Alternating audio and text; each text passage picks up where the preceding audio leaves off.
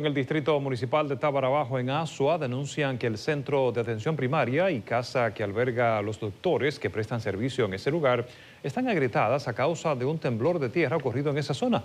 Tenemos, temen que en cualquier momento colapsen y causen una tragedia. Marcos Lorenzo nos trae la historia.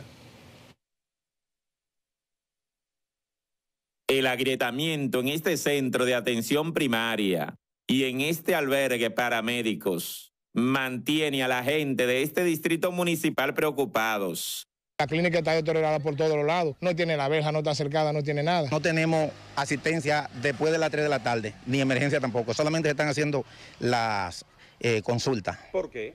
Por la situación que presenta la clínica, por el deterioro. Los médicos tienen que trasladarse cada quien a su lugar a dormir, porque aquí no, no pueden. Estamos preocupados por la situación que estamos, que tenemos la, casa muy agrietada, donde duermen las la doctoras, por eso no pueden quedarse aquí en el lugar y no tenemos urgencia por la noche. Si tenemos alguna urgencia, pues tenemos que quedarnos sin nada porque ya no pueden quedarse aquí porque se les puede caer la casa encima y no queremos eso tampoco. Los médicos no son de la comunidad de Tábara abajo, hay unos que son de Aso, son de Tábara arriba, y Tebanía, entonces lo que queremos es que le arreglen la casa, porque ellos no, no están confiados, porque tienen miedo que la casa le caiga arriba. Manifestaron que en ambas edificaciones Hubo un temblor de tierra el cual afectó la casa donde se alojan las doctoras y la clínica por igual. Eso fue un pequeño temblor de tierra y se agrietó y se abrió por todas partes se quejaron de que las autoridades tienen conocimiento de esta problemática. Tenemos cuatro o cinco años con esa problemática y que pidiendo y pidiendo vienen y no nos hacen caso. Ya hace unos años que se hizo